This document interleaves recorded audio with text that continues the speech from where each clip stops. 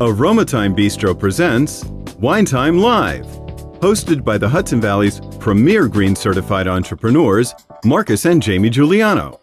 So grab a glass of your favorite vino, sit back, relax, and travel with them, sharing their passion discovering unique vineyards, outstanding wines, delicious food, and great adventure.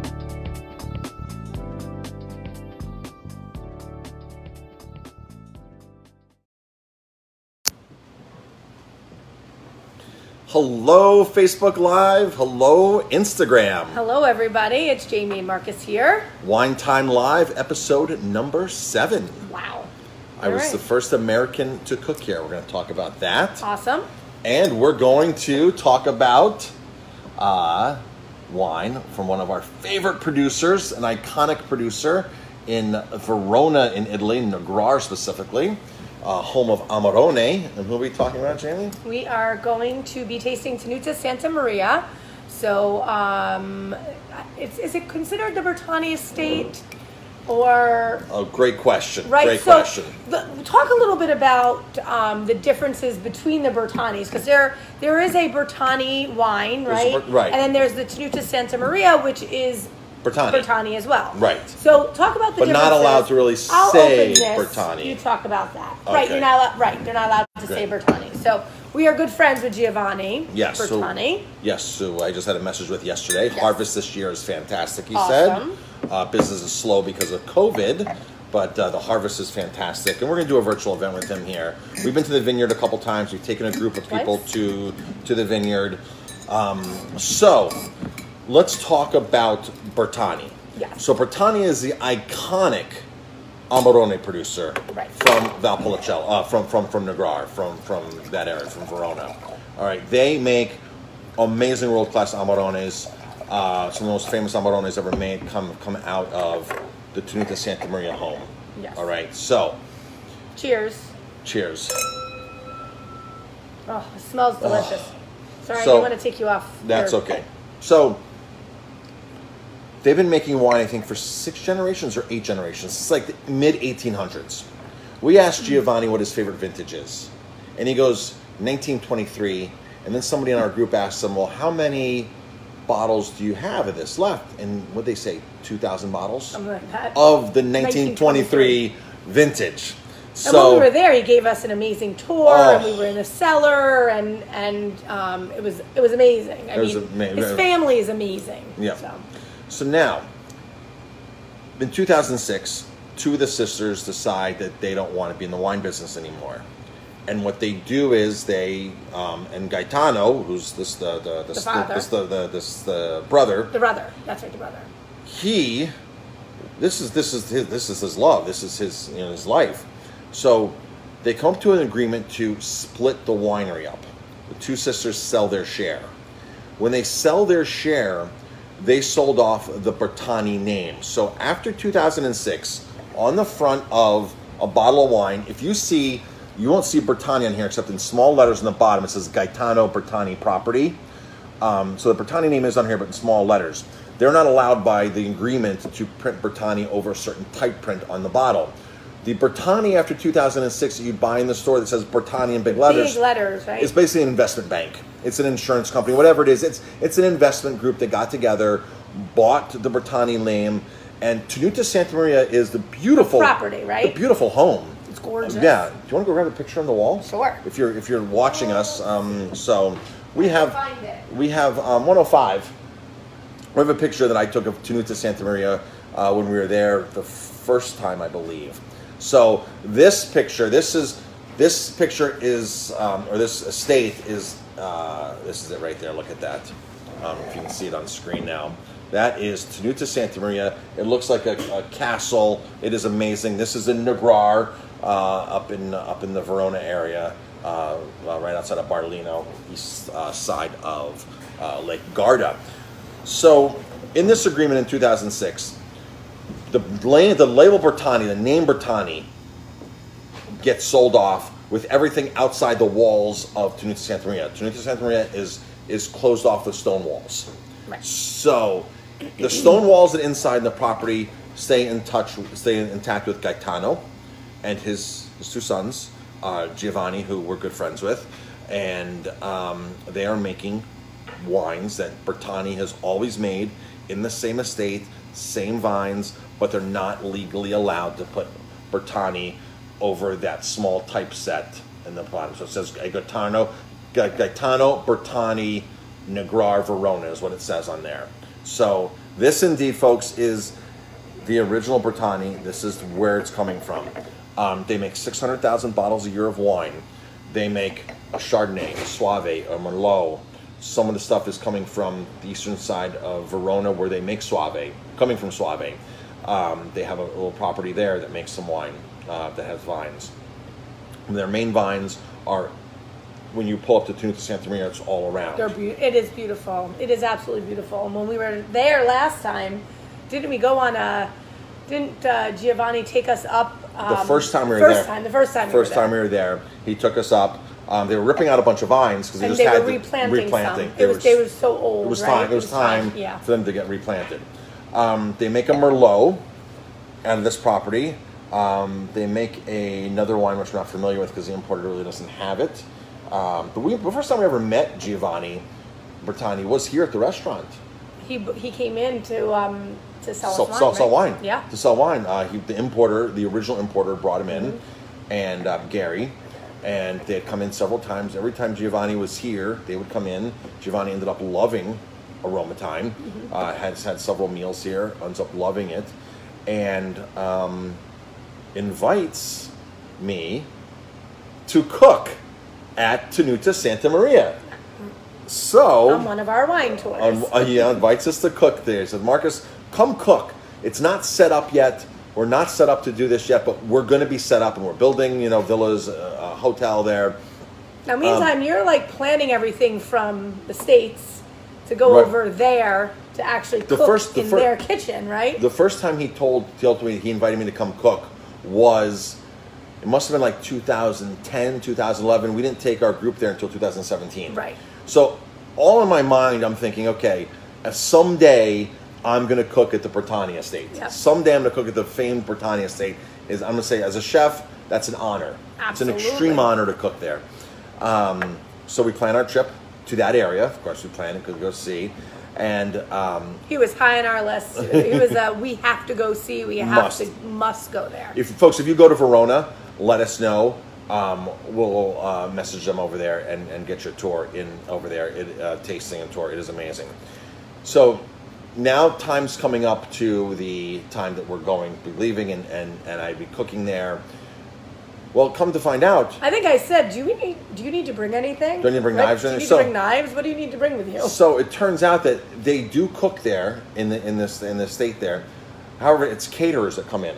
so they, bring in all of their they own. they had the Ferrari Club there that year. They did one of the prince's weddings there. Um, so they do they do some catering things, but they don't cater. They don't cook themselves. They a company comes in and cater. So they Right. come into the kitchen, they stage their trailer or whatever, and They they, bring cook. everything with them and Right. they take everything back with them. So Giovanni goes, I don't have anything here to cook with, Marcus. You're literally the first American to come cook in this kitchen here. um, so you know, we don't have pots, pans, we don't have any of that. So he's messaging me on WhatsApp. Right. And what do you need? What do you need? What do I need to get found you? this on Amazon. Will this work? Will this pan work? Right. Will this tell me? So he ordered pots, pans, cutting boards, everything for us that we needed to cook. It was pretty cool. It was really cool. It was really cool. It was really cool. Um, his parents, who are in their late 80s, They were there at dinner with us. they were at dinner with us. Actually, the father was still in the field, right? Um, uh, he was Gaetano. out. Gaetano. He was in the field um, checking on the vines, and then he showed up for dinner after. And and his mom uh, was in the kitchen with you a little bit. She was. um, laughing and. Um, and, and saying, She's a Why didn't you make risotto? yes, she she heckled me for not making risotto. I made polenta. I think you were afraid to make risotto in Italy for them. I next time I will. No, next I'm time. so she heckled me about polenta. yes, And she goes, next time you come, you and I are going to make risotto. risotto together. Yes. So I was like, wow. So we we took our guests to um, their estate, the Tenuta Santa Maria estate, and you cooked there.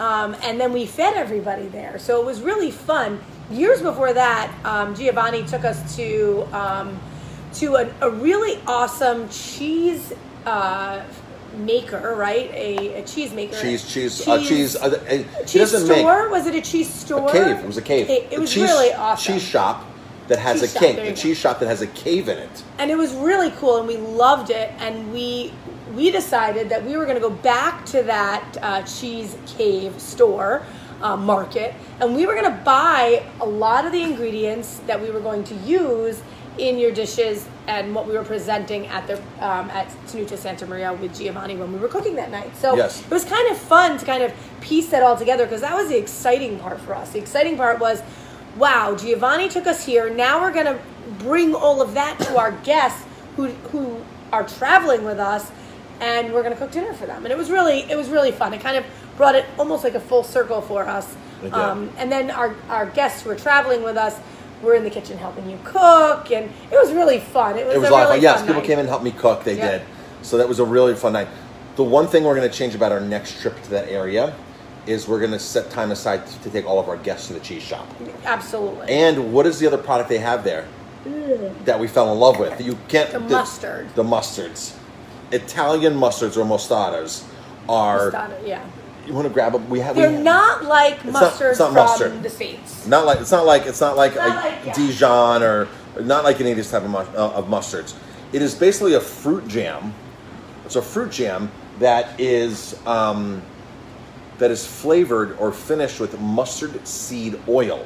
Now, mustard seed oil can get extremely spicy. I brought the one that so you can open it. And So um, we have them in stock right now. We have one in stock right now, and um, if you're looking on the screen for us, this is what it is, mostarda. Uh, that is, um, and this is this is a oh, chipotle. it smells so good. This is a grilled onion. it's- inside, it's it's, It's uh, jammy. jammy. You can smell it. So it is basically a fruit jam or a vegetable jam that is then has mustard seed oil in it. Now mustard seed oil is super strong and powerful. Thus you make mustard gas out of it, which you use for warfare. You're not allowed to bring these fruit jam mustards into the US. You're not allowed to bring them on planes. You cannot you can't find them that, that much in Italy. You cannot find them in duty free. You will not find them in, in you won't. The first time that Giovanni took us said, Mustard, mustard, we're gonna go to a mustard shop. and we're looking at all these buckets behind the counter Oh, on, wait, on that's the, not mustard. I'm like, mustard? What's he talking about, mustard? And it was like, this, this is jam. This is like strawberry jam or whatever. right. It's like mustards or mustards. And it says mustard on it. And I'm like, what's going on here? and after we explained Tasted it? properly what was in there, the mustard seed oil um, is what makes this stuff It was kick. really, really good. Like really good. Oh, like fantastic. Fantastic. Like one of our favorites, and we couldn't wait to get our hands on it and and to have some here. So, um, so if you want to taste it, come on in and get some. It's really Yep, we awesome. sell these now. Uh, we sell these now. We're gonna get another one in too. I found another one uh, from another one of our distributors that Oh, has. But they said they're finished with mustard seed oil. This is not as strong as the one that was in Italy. The ones in Italy get some of them get super super powerful and strong, and it, they make a really good flavor combination profile. The sweet jamminess, the hot spiciness, Mm-hmm. really really really good. amazing Um, stuff. So. So yeah, so uh, next trip. So the next trip we do to the northern Italy. You and I were talking about this today. The last trip we did, we started in Milan, drove down to La Morra, did Barbaresco, Alba, then drove down to Gavi, and then up past Milan again, and over to Lake Garda, into Valpolicella, Negrar, Verona. It was it's too much spread apart. And then the everybody they left us and they went back to Milan, and we stayed over in that area and we went south, right? Because we stayed after the trip and we went right, north. yeah. Oh, we went north. We sorry, went north. We went north, and then we ended up eventually going south. South. We went north. Um, we have to break those trips in the north to two separate trips. Yeah, they're gonna have to be northeast they have to and be. northwest. They have to be northeast and northwest because when you go into La Morra, uh, into Barolo, the commune of Barolo and Barbaresco, and uh, which is Alba, Torino. There's so much stuff to do there that we totally missed. There's a brewery that we want to visit, uh, Lover Beer. There's a bunch of there's so many things. The truffle hunt that we did. There's so many more things to see up in that area that it's hard for us to to to go across almost three hours of travel time. And we did it one day, But now we're now we're smart enough to know, hey, okay, we fly into Verona for the eastern part of the trip. We fly into Milan for the western part of the trip. They're two separate trips. I even put it on paper, and I'm like, do we stay an extra three days? No, That's you 12 separate days. it out into two trips. Two trips. See, I have to make the decision sometimes. We, we talked about I'm it. just kidding. and uh, that would, those are the two Yes, choices. yes. So on the VIP website, by next week you'll see those that Northern Italy trip broken into two because I'm that's the page I was working on today, and I'm like, there's just way too much to do, and if you find the Verona, all the Soave vineyards, all the all the the, the Amarone vineyards that we missed, like Corte Saint Alda, Oh my God, Marinella. amazing wineries in in all of that area. I mean, and in all areas there's a lot. So you're trying to put too much into one trip, and and I'd rather concentrate it into two separate areas. And we're so close to Venice. I think we should do a day in We're Venice. an hour to Venice. We're an hour to Venice, Yeah. and we didn't get to Venice last time with our group. We've been to Venice, but our group we couldn't because it just the We time haven't been to permitted Venice in a long time. since 1997. Seven. So it's it's time for us to go to Venice, experience it again, and uh, enjoy Venice. So Great. Let's talk about the wine. awesome! This wine is incredible.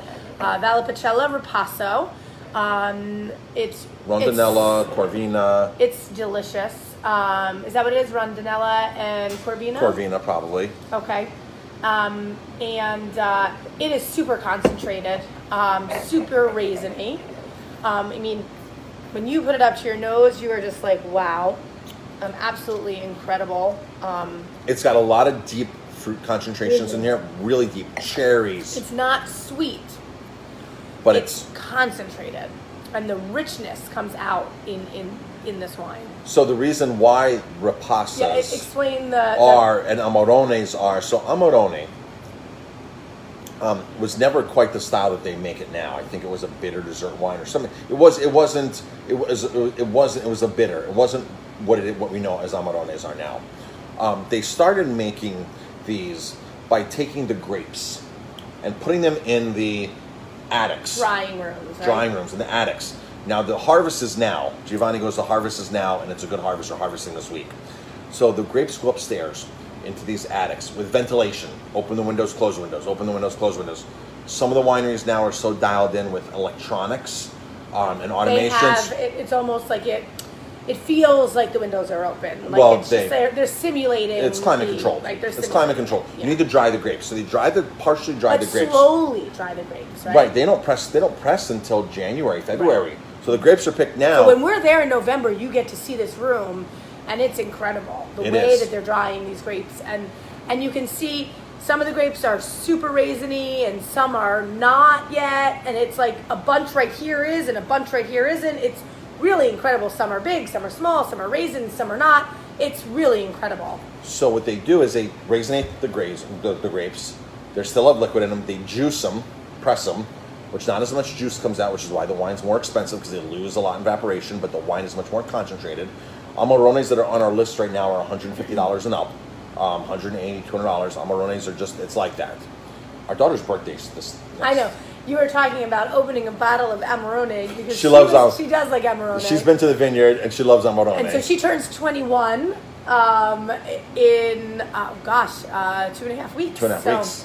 Um, so she will be able to, um, you know, enjoy, and not that she hasn't had a glass here and there, but she will be able to enjoy um, a nice bottle of wine. And, and you were like, I'm going to open an Amarone because she loves Amarone. She discovered she loved Amarone when she was 16 When years were old. 16 and we were in Italy, and we went to, to Santa Maria. and other Amarone Yes. vineyards. She's like, I really like this this this wine. This is really good wine. It'd be interesting to see her taste it again now. Yeah. I don't think she's had it since we've been in, we were in Italy, and that was twenty. That was six years. Uh, Five years. Five. Well, Five. it'd be six.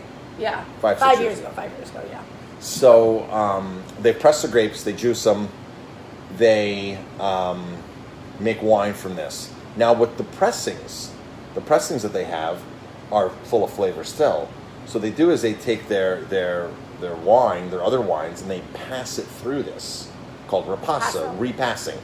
So they pass it through the crush, the press, the crushings, and this make this fortifies this Valpolicella, this regular Valpolicella, uh, Rapassa, and it fortifies it. Ripasso fortifies it and brings out some of the Amarone characteristics in this wine. And these wines aren't cheap either. Um, this I think is like eighty dollars on our list, but amazing stuff. Um, Rapasas, Amarones, they go up in price range. That, that, that- that's just the nature of, of how they make the wines and the, and, and the end product. So, um, Tenuta Santa Maria uh, from Negrar, from Verona, uh, definitely a must. If you've never been to Verona, Verona is an amazing cool. city. It's really cool. We've been there two or three times, and we love, Love it. it. The marble sidewalks, the shopping, the streets. Um, just an amazing, amazing city. It's actually, I, I mean, I, I, we like Rome, but it's an upscale Rome. It, You know, it, it's, much smaller, Smaller, but but uh, right? yeah, It's just- all, it's all, yeah. It's closer. It's tighter knit. It's it's classy. Um, marble streets. The Colosseum is older. in Verona Is is older. older than the Roman Colosseum. And we've stayed right outside the Colosseum. Yeah, like really you walk cool. there, you open up your door and you walk out, and the Colosseum is right, Right there. there. which is really cool. The restaurants are amazing. Uh, we go to the one restaurant, the wine restaurant, that has 3,000 wines in their list, Bottega Vini. Bottega Vini. Um, amazing. They used to have a New York location, which I believe is since closed. The original location is in Verona. I think it's the largest wine list in Italy. And our friend Costanza knows the owner, and Yes. she lives there. And so we go with her It's when we amazing all the the contacts that we've made over the many years, you know, and that we can just pick up the phone and say, hey, you know, we're coming to Italy, or we send a text or a message, and really cool, you know, It's It's fantastic. really fantastic, and that's that's what we're all about. It's building relationships um, when we're here, when we're there, and bringing our guests with us, you know, on these VIP winery vacation tours, and uh, you know, bringing them with us and letting them experience what we experience. exactly. You know. The first time we went to Bottega Vini, do you remember how late it was at night? Oh yeah, we went in for um, just for a glass of wine. We were in right? Tuscany. We got done Yeah. with Altesino, and we messaged Costanza and said we might be there tomorrow. We're not sure. That's right. I drank a double espresso. That's we got on the road We stopped in Florence. and we stopped in Florence, got a bite, Got it, bite it. Yep. and I kept driving. Yep. And we got to Verona. Verona 10 p.m. at night.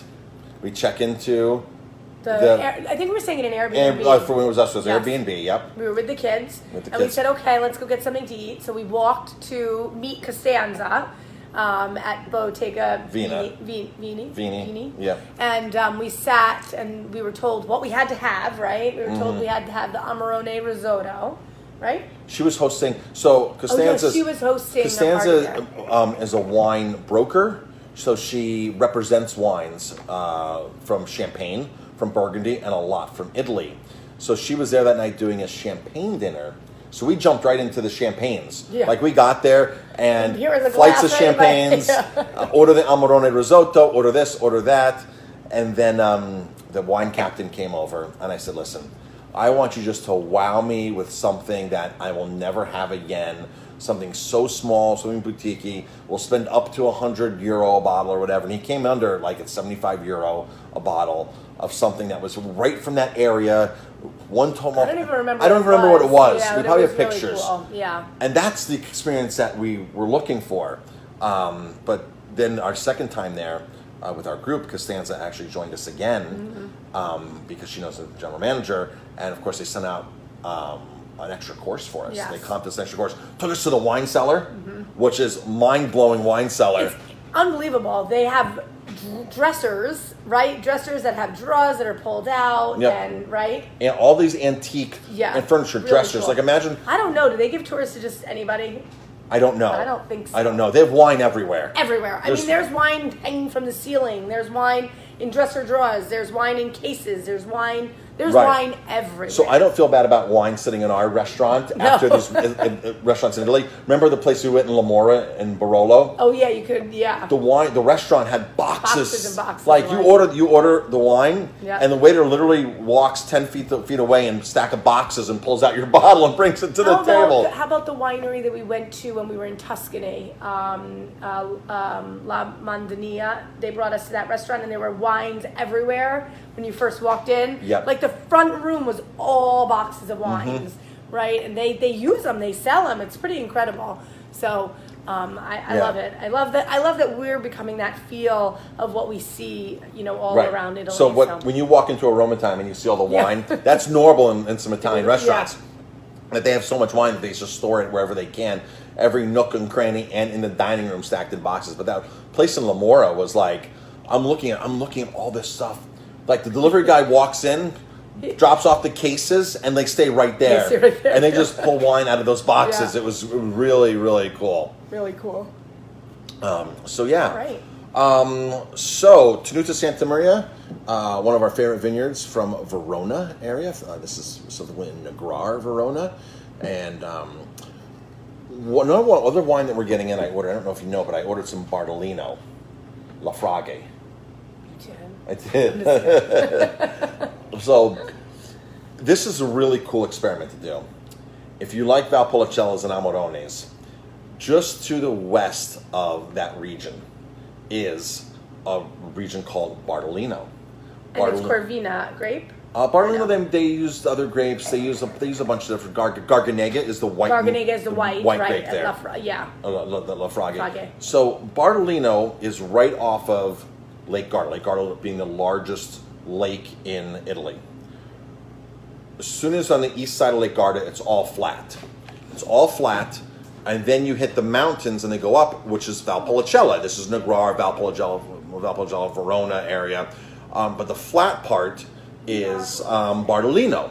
So because of the lake effect heat, the, because of the lake effect heat, you get a very, very tropical climate in Bardolino, much more different than you would get in um, in uh, in Valpolicella.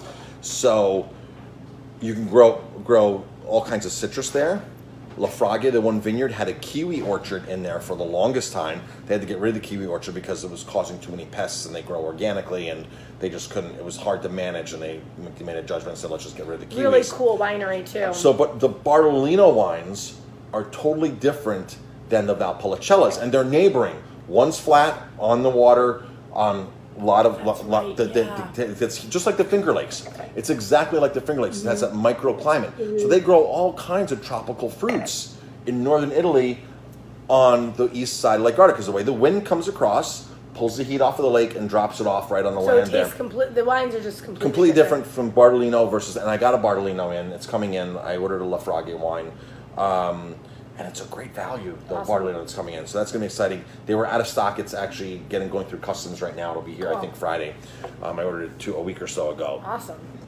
All right, um, that's, That's about it. Hopefully, maybe tomorrow we'll get to do another um, a, uh, wine time live. So stay tuned for that. And that's it.